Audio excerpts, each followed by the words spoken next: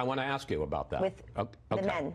The, the, because this is the, what came out of the Inspector General for the Department of Human Services, of, of, of, of uh, Homeland Security. They issued a report on July 2nd with this warning, and I want to put it on the screen.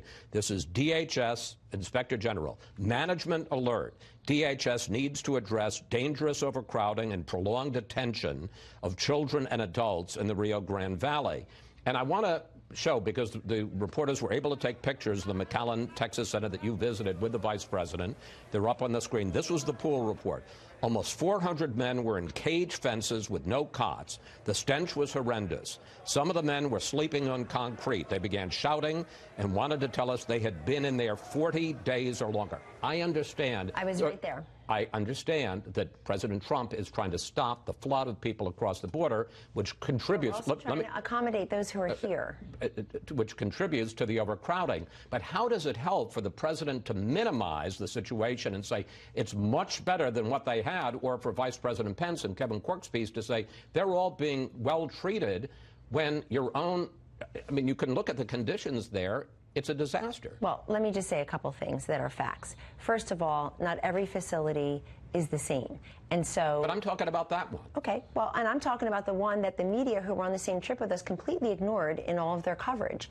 They're also completely ignoring the briefings we received from the Brave Customs and Border Protection. What do you say about folks. McAllen, Texas, Kelly? What I would say is this that that facility was meant to be, this is what I was briefed on, that facility was meant to be a 72 hour holding facility. It's not equipped to keep a single males who have broken the law by coming here were apprehended. If you just want to let them go, then say that we just are open borders. And let's all be as honest as some of those uh, Democrats raising their hand. But does would it help for the president to say, well, they're really Let's give them all conditions are pretty good, and for Mike In- Pence to say they're pretty good? In, in plenty of facilities, they are they have improved, including the one that we saw with the families. I saw the House Oversight Shouldn't Committee you be tweeted out on a the worst facilities and the- and the worst and the picture was from mistreatment of these people? under Obama, Biden, you and be Jeh judged on Johnson. that? Oh yes, and let me let me explain to you. I want people treated humanely. That's why when I received the briefing with the senators and the vice president, with the media in the room, but they didn't they didn't publish any of this as far as I can see.